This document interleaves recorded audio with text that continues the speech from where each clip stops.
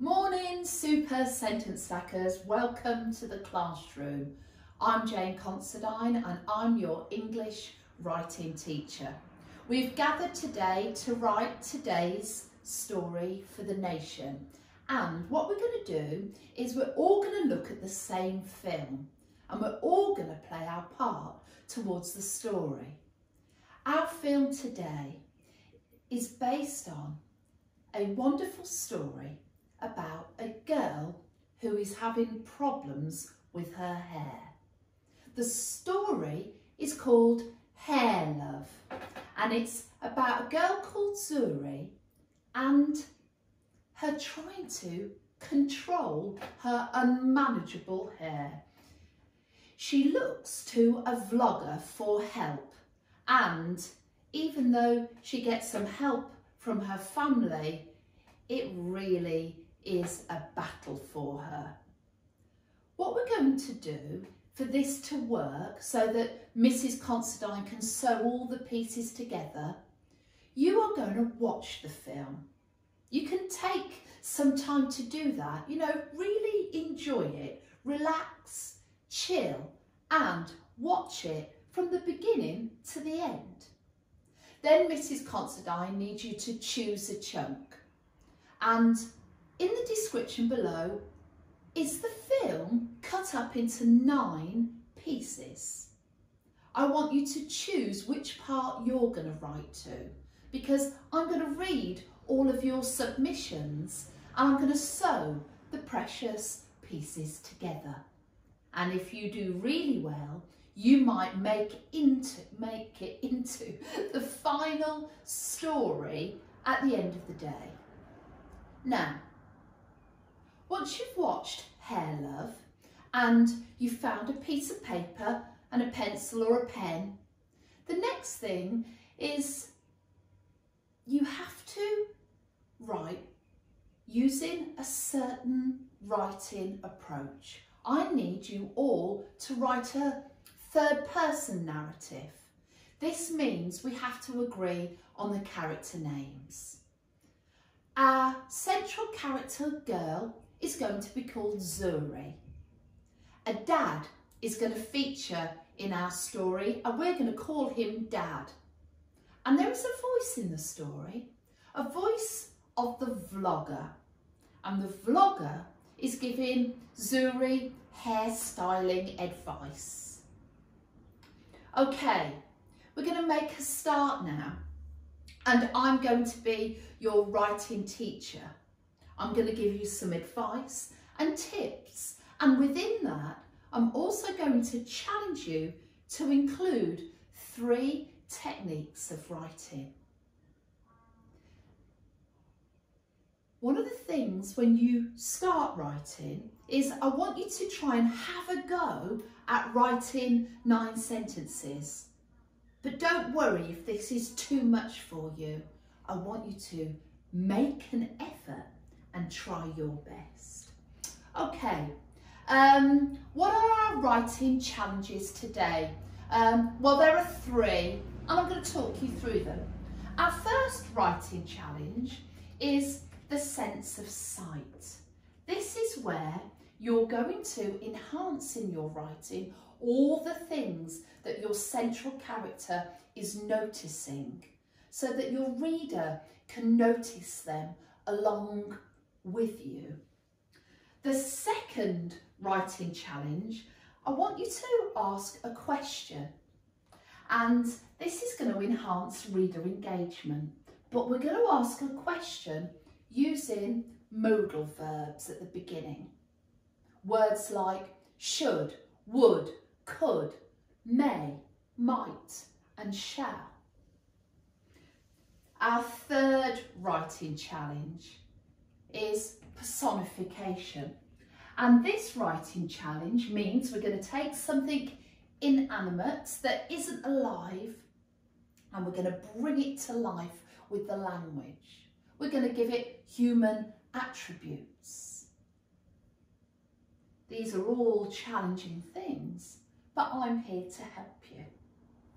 What I'm going to do now is I'm going to be your writing teacher and you're going to see inside my thinking. You're going to get a window to my mind as I talk out loud the behind the scenes process of what I'm thinking about as I craft and construct my sentences. Um, you are going to see inside the writer's brain. What I'm going to do now is get ready for writing. Um, I'm going to write down the chunk that I'm writing within. I'm going to look at the times. As I choose my chunk, there's a, a sheet that you can download that will help you. Um, I'm going to stay within those chunked times so I don't breach them. Um, I've got my name on my piece of paper and I've got my age. Okay. I'm going to start by introducing the central character's um, name here. Zuri's hair. Zuri's hair. And as I go back and reread that, because that hair belongs to Zuri, I'm going to put in a belonging to apostrophe. Zuri's hair, and now I'm going to think about what it looks like.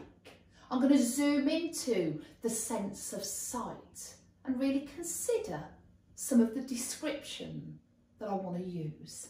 Zuri's hair was, now her hair is beautiful but when she wakes up, it really has got into a bit of a mess. Zuri's hair was long and now I want to begin to introduce some of the problem with the language I'm using. Um, the sort of thing I might want to say is knotty. I think I'm going to do some thesaurus thinking and, and gather some synonyms in that family. Um, knotty, that's my first idea. Other words in that family, I could have matted.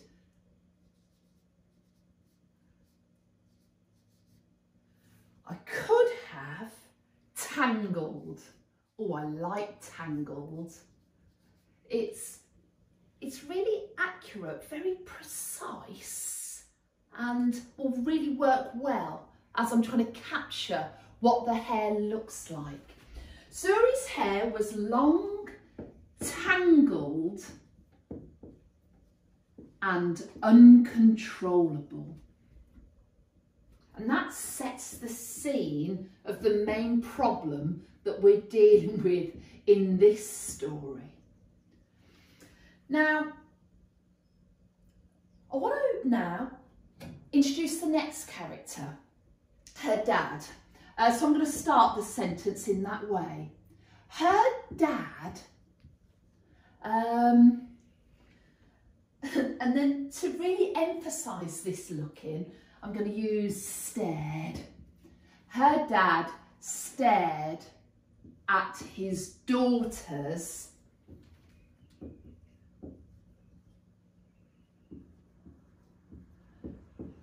and I want to now um, introduce that the hair is causing a problem and I want to think about that language in particular.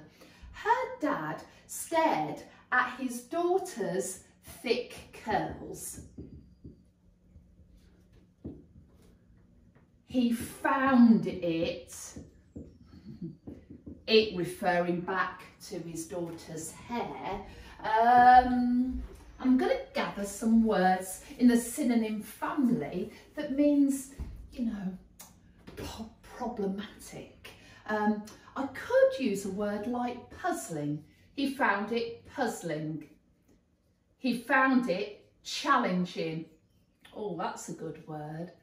Um, and another word in this family could be perplexing. I really like perplexing. I'm going to use that to finish that sentence off. Her dad stared at his daughter's thick curls. He found it perplexing.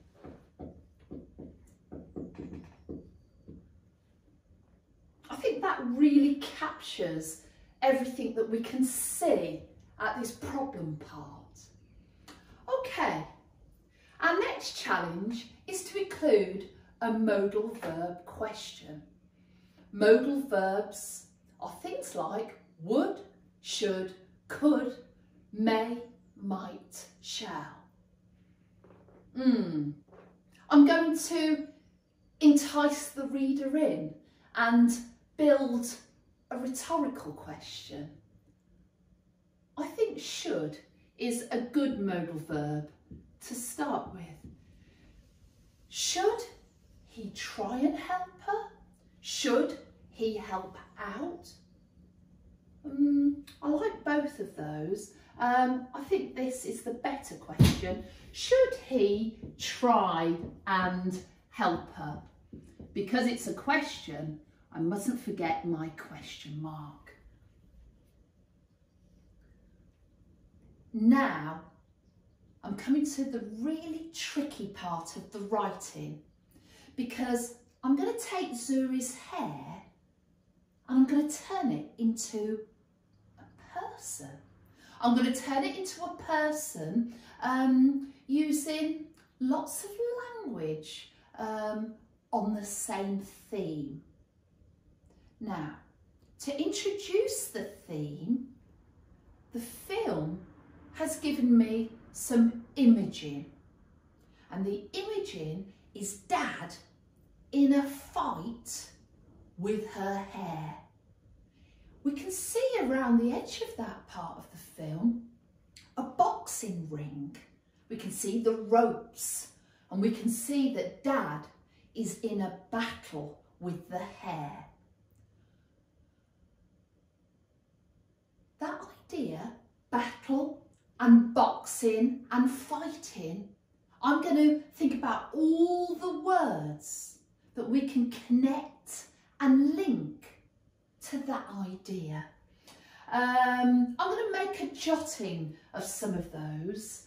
Uh, fighting, um, the boxing ring,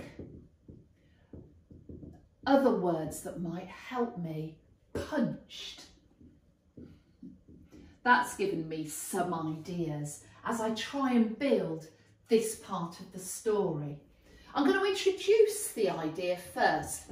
Um, the combing, because that's what Dad's trying to do, um, the combing alone was a battle for him. And I get the beginning an introduction of this idea was a battle for him. I'm then going to make the hair a boxer or a fighter. Let me have a go at trying to personify Zuri's hair now. Um, her hair was, I'm going to just say it, um, I'm not going to use an as or a like because then it would be a simile. Uh, I'm going to go straight into it. I'm going to take that scaffolding away. Her hair was a fighter. I, I, I want an adjective before fighter.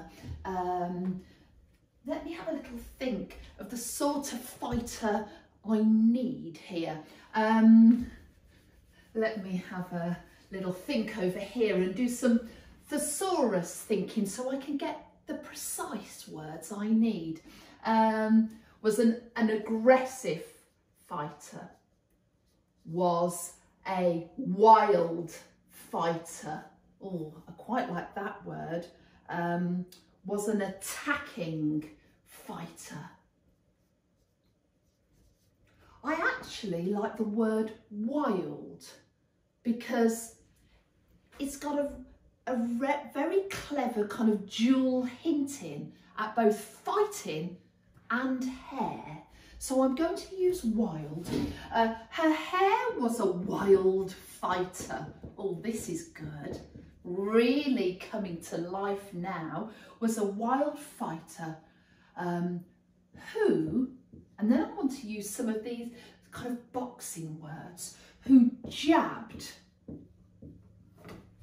who jabbed at his patience poor dad, who jabbed at it. And I'm going to use now another boxing term, who jabbed at his patience and punched his ideas. And then I'm going to think back to the film, that boxing ring, who punched his ideas against the ropes. I'm going to go back now and reread my work because it's really easy when you're concentrating on the composition and the ideas that you might make silly mistakes with spelling or punctuation. Let's have a little reread.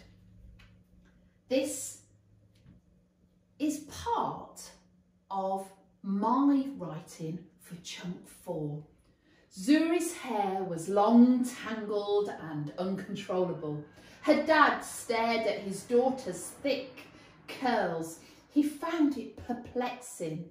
Should he try and help her? The combing alone was a battle for him. Her hair was a wild fighter who jabbed at his patience and punched his ideas against the ropes. I'm really pleased with bringing her hair to life as a wild fighter in the boxing ring. I can't wait to read your ideas. I really do enjoy all the writing that is submitted into Super Sentence Stackers. And did you know the best way to get hold of me is to post your writing on Twitter using the hashtag Super Sentence Stackers. You can also post your writing on Facebook using the hashtag Super Sentence Stackers and our Facebook page is The Training Space. You can send your writing into me and I will read everybody's writing. And I will see you back in the classroom at 3.30 when I've chosen all the wonderful chunks, piece them together and we can hear how you've played your part in building the nation's story. Thank you everybody.